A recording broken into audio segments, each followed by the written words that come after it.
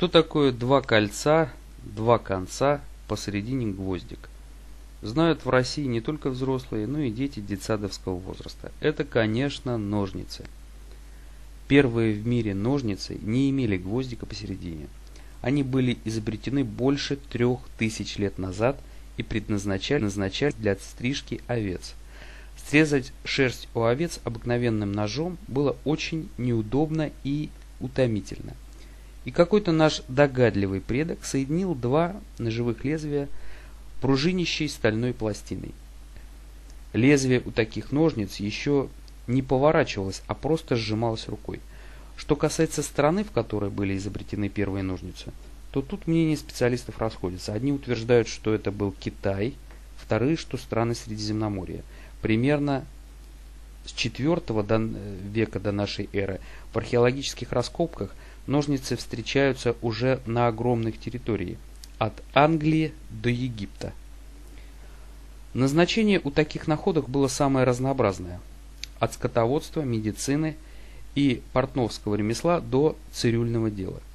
Впрочем, цирюльники долгое время предпочитали обходиться по старинке двумя ножами, причем ничем не соединенными.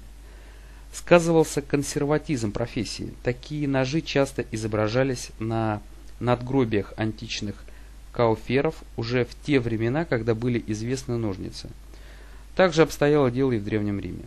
В германских племенах ножницы появились примерно в одно время с древнеримскими. Историков очень заинтересовал тот факт, что древние германцы имели обыкновение класть ножницы в могилы своих умерших соплеменников. В захоронениях, причем по преимуществу мужских, принадлежавших не только пастухам, врачам или цирюльникам, но и воинам, и даже аристократам встречаются большие – и совсем маленькие бронзовые, серебряные или чисто металлические ножницы. Зачем они были нужны в могилах таких разных людей? Обоснованных объяснений этого обычая у историков до сих пор не появилось. Ножницы, которые почти ничем не отличаются от современных, с тем самым стерженьком-гвоздником посередине, появились приблизительно в X веке. По крайней мере, самые старые ножницы в Восточной Европе, найденные во время археологических раскопок под Смоленском, были изготовлены примерно в это время. Делали ножницы, как уже было сказано выше, из различных материалов – бронзы, серебра, железа. Искусные мастера украшали ручки загнутые кольцами, орнаментами, фигурками зверей, изображениями плодов. Иногда ножницы изготавливали в виде головы птицы с огромным клювом – образованным режущими лезвиями.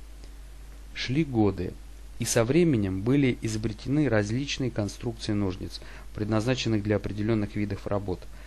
Раньше других стали изготавливать массивные портновские ножницы для резки и раскроя тканей. Затем появились комплекты ножниц для садовников и парикмахеров. До наступления эры электричества широкое распространение получили фитильные ножницы для подрезки сгоревшего фитиля свечи. Эти ножницы довольно скоро стали настоящими произведениями искусства.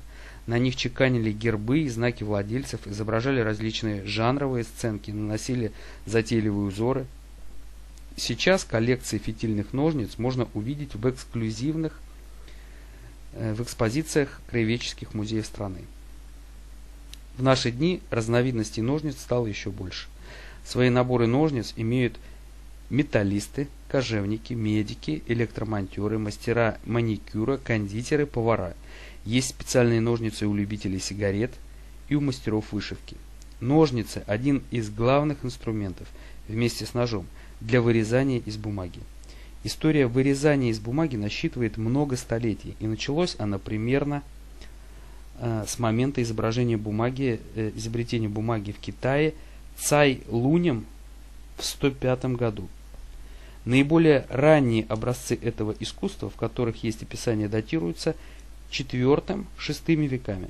Основные сюжеты ажурного вырезания – силуэты людей, растительный животный мир, изображения богов и духов. Силуэтное вырезание было очень модно в России в конце XVIII – начале XIX веков.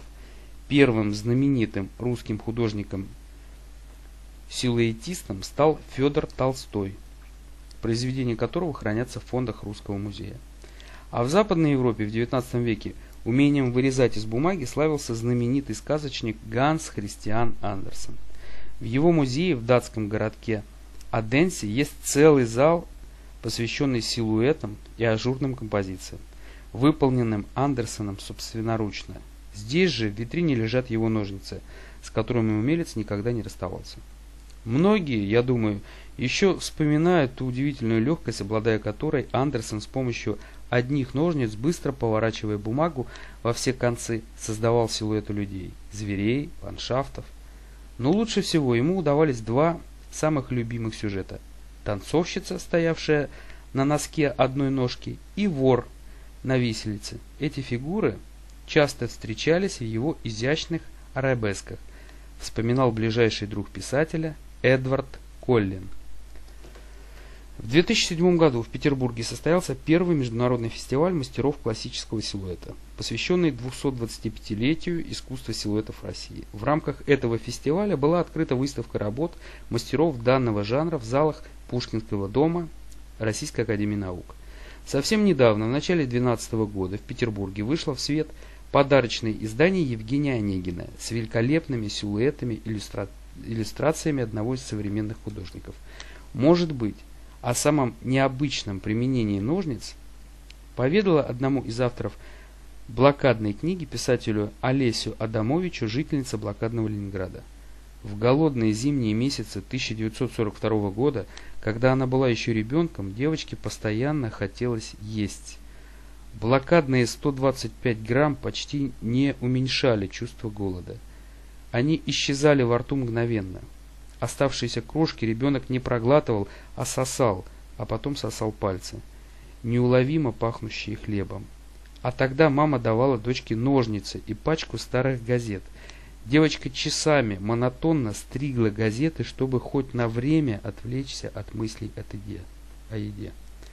Этот эпизод запомнился ей на всю оставшуюся жизнь как одно из самых страшных воспоминаний о блокадном времени.